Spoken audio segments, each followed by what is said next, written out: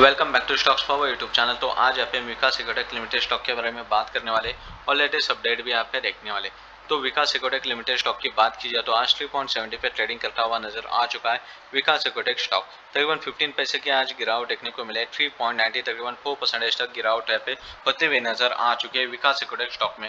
और lower circuit भी लगता हुआ नज़र आ चुका है। करंटली यहाँ पे देखा जाए तो।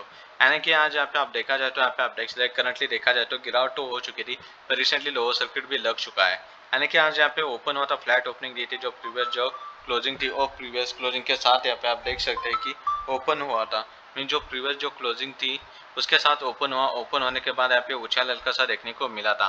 तो रिसेंटली जो प्रीवियस क्लोजिंग को जैसे ब्रेकआउट दिया तो और गिरावट देखने को मिली। और करंटली रिसेंटली देखा जाए तो यहाँ पे आप देख सकते हो कि लोअर सर्किट लगता हुआ नज़र आ चुका है। यानी कि यहाँ पे देख सकते हो कि ओपन हुआ था 3.85 पे हाई बनाया था 3.95 का, और लो है 3.70 का। तो देखा जाए तो चार्ट एनालिसिस पे भी नज़र डाल सकते हो।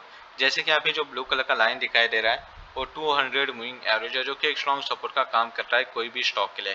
तो कल भी यहाँ पे नीचे आता है तो यहाँ पे आप देख सकते हैं कि 200 मूविंग एवरेज पे सपोर्ट लेने के चांसेस दिखाई दे सकते हैं, और वही से बाउंस बैक भी हो सकता है अपर साइड में।